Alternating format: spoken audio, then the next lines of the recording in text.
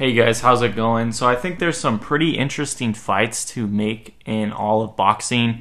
Pretty interesting stuff going on now. You have Anthony Joshua knocking out Francis Ngannou, and then you have a lot of other big fights such as Ryan Garcia versus Devin Haney, and even Bivol versus Better Beterbiev. So I really think there's a lot of exciting stuff. I still think there's a lot of big fights that need to be made now or relatively soon over the course of the year. So just going to go up through the weight division, starting at the lighter weights and then working up to heavyweights. Starting with Inoue, really think he's looking good, but I just think he needs uh, some bigger names to fight him. I don't really think there's a lot of guys really for him to face, whether it's uh, bantamweight or featherweight or wherever he's specifically fighting at.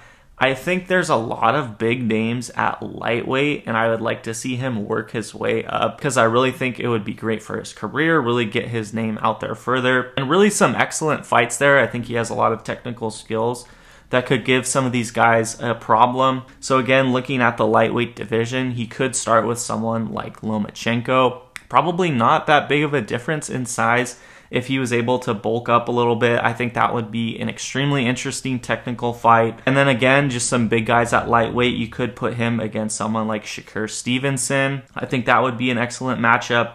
Again, depending on the winners and losers, Ryan Garcia versus Devin Haney. A fight against either of them would be huge. I think most likely Haney and Gervonta Davis will fight next if he wins. But also, Gervonta Davis has talked about fighting Inoue in the future if he's able to meet him at a catch weight, if he's able to come up to lightweight. So a lot of these fights could even happen at a catch weight too, but I think they'd be better at lightweight. I think it would be better for Inoue too if he was able to come up and become the lightweight champion a lot of other interesting fights in the lightweight division. Would like to see Gervonta Davis fight Shakur Stevenson while Garcia and Haney have their upcoming match. Just to get that out of the way, I think Davis would easily take that, but still think those two should fight. And then again, assuming that Ryan Garcia loses, there's still a lot of opportunities for him. Garcia versus Lomachenko could be a really interesting fight, but obviously Gervonta Davis and uh, Devin Haney is the big fight to make at lightweight. And then moving on up, Terrence Crawford. Don't really think there's a lot left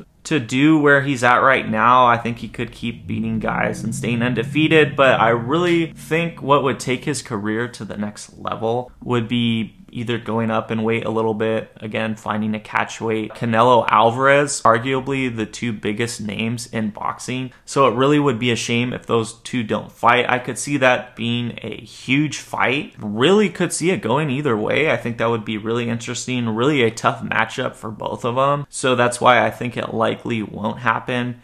But I think that's really just two names you can't ignore. There has to be a way for them to fight. And then looking at someone like Canelo, not too happy with some of his recent fights. I don't even know the guy who he's fighting currently. Uh, I don't think that's really a good decision.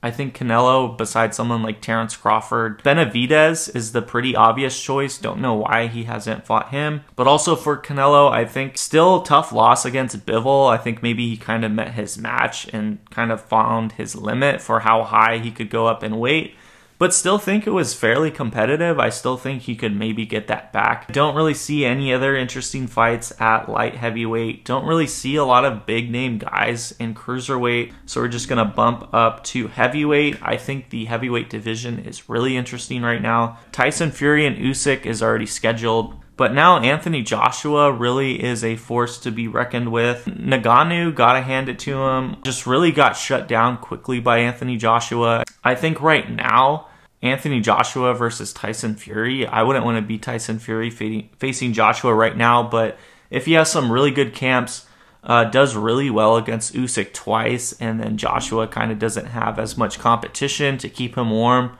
could see that favoring Tyson Fury again, but I think that's a really big fight. even have someone like Francis Ngannou, I wouldn't say he's out of it yet. Wilder coming off a loss against Joseph Parker. Even another mega fight could be Francis Ngannou versus Deontay Wilder.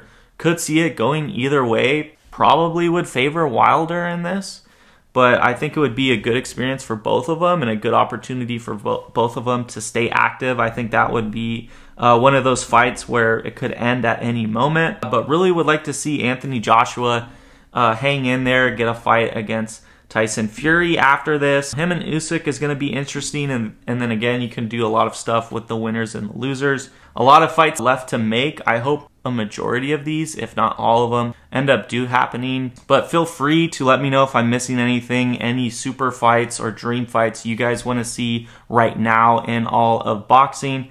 So really appreciate you guys watching, and I'll see you later.